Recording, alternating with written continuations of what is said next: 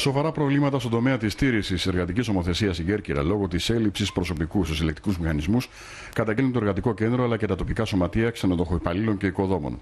Αφορμή καταγγελίες απολυμμένων από εργοτάξιο υπό ανακαίνιση ξενοδοχειακής μονάδας στα Μωράιτικα Κέρκυρας, οι οποίοι υποστηρίζουν ότι η επιχείρηση έχει προβεί σε σωρία παραβιάσεων νόμων που αφορούν τόσο τη λειτουργία του εργοταξίου όσο και τις αποδοχές και τις συνθήκες απόλυσή τους. Για κάποιους είναι θέμα αξιοπρέπειας. Πρόκειται για 14 συνολικά εργαζόμενους που, όπως τονίζουν, προσλήφθηκαν ως εργάτες ξενοδοχείου παρά το ότι το ξενοδοχείο έχει σταματήσει να λειτουργεί μετά την πώλησή του και ανακατασκευάζεται.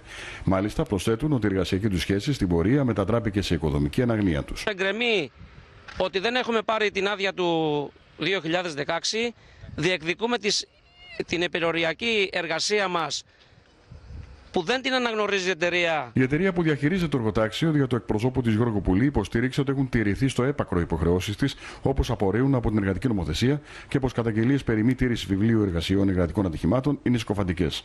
Το εργατικό κέντρο καλεί την επιθεώρηση εργασίας και το ΙΚΑ να αυξήσουν τους ελέγχους και την κυβέρνηση να ενισχύσει τους ελεκτικούς μηχανισμούς με το απαραίτητο προσωπικό.